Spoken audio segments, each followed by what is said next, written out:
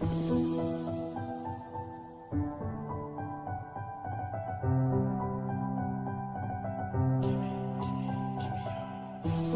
tar farlig, gitt en time.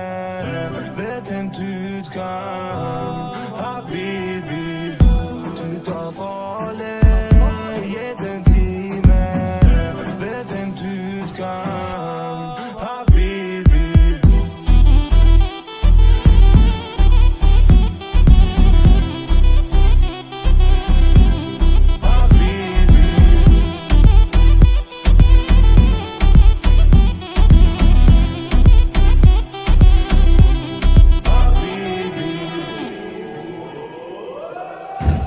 të fale Jetën time Vetëm ty.